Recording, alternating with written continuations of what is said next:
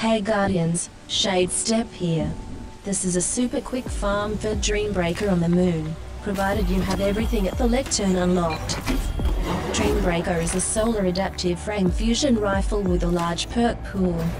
What makes it special in my opinion is that it can roll with lead from gold. This can be useful in endgame content. Follow my hunter to the start of the Garden of Salvation raid portal. There you will fight a bunch of Vex. You need to kill 30 Vex in total, and 15 of those have to be fusion rifle kills. So get Vooping Guardians.